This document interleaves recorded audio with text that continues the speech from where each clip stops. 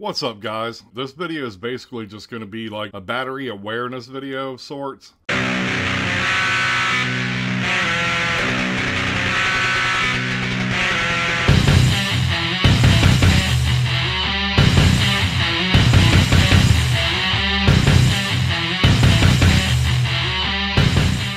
Came to my attention yesterday. I saw a video by Pegasus Vapor Academy. My channel was mentioned in his video because it was recommended to Pegasus by Shenzhen Yifang Technologies. They're the makers of the eFan batteries. So some of you may have noticed that I pulled my eFan battery video.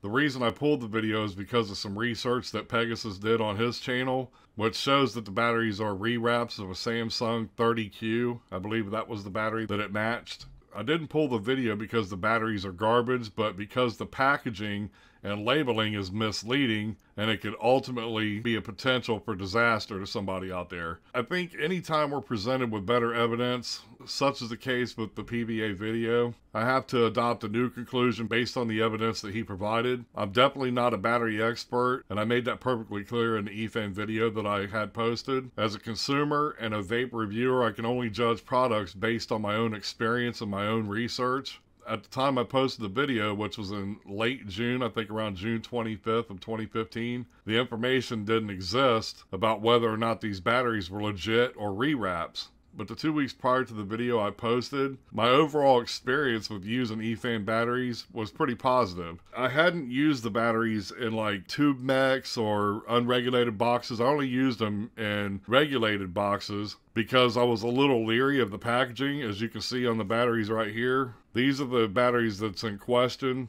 These two batteries right here are okay. According to Pegasus's research, the 25 amp discharge is pretty accurate. These batteries right here are the issue. Right down here, it says 60 amp and a discharge of 40. Those are the batteries that had me worried before eFan even sent them out to me. I had heard prior to this there was other vape reviewers that was contacted to do reviews, but they were all reluctant, and I don't think anybody else even did a review on them. But I went ahead and after testing them, I went ahead and posted the video because I had a good experience with them. Now, granted, granted, I wasn't doing sub ohming or anything like that on like a mech mod, for example, like on the Prime mod that I did the video for yesterday. I didn't use any of these batteries on mods like that. I used them on like the IPv4, the IPv3, the Sigelei 100 watt, and devices like that, regulated devices that have chips in them that can regulate the power. So after they first contacted me, I was a little bit worried about claims that were being made on these two batteries right here. So I asked the company representative point blank whether or not their batteries were rewraps and could they send me a spec sheet, you know, to show me what the battery chemistry is and stuff like that, man. The email that they sent me back was no, in fact, their batteries are not rewraps. And then they proceeded to ask me something else. So, what I want to do really quick is insert those two emails where I asked them, and these are time stamped and all that. So, it'll back up my story that I'm telling you here. You'll see the dates and all that kind of stuff. That way you'll know I had concerns prior to even making the video. So when they came back and told me no, I just took their word for it, which was a huge mistake, obviously, and could have ultimately ended up with me being hurt. Pegasus research showed that these are only 15 amp batteries. So they're not 60, they're not 40, they're not 25, they're 15. These batteries should not be being used in vaping, period, as far as I'm concerned. Not even in a regulated device. I don't recommend these batteries at all. These two over here are fine. In my personal opinion, because this company lied, I want nothing to do with their products. And in fact, I'm throwing these four batteries in the garbage. If there's anything I can't stand about a human being, it's a human being that lies. I can't tolerate that stuff. So anyway, here's the emails really quick.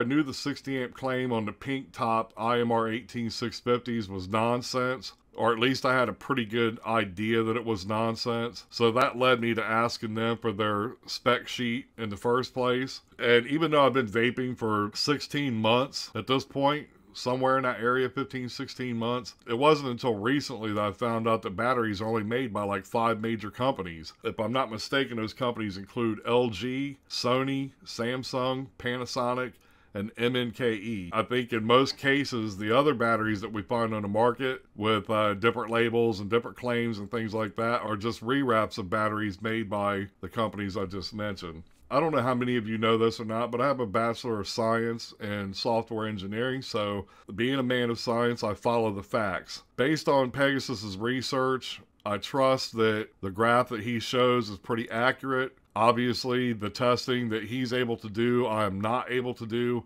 So I do trust what Pegasus has to say about these batteries, and I do believe that they are, in fact, a Samsung 30Q. I believe that's what it was. So I don't recommend these batteries to be used by anyone. And in fact, like I said, if the information that Pegasus provided is in fact correct, I'm not happy with Shenzhen Yifang Technology Company at all. It's just bad business to misrepresent a product that you're putting out there that can potentially hurt people.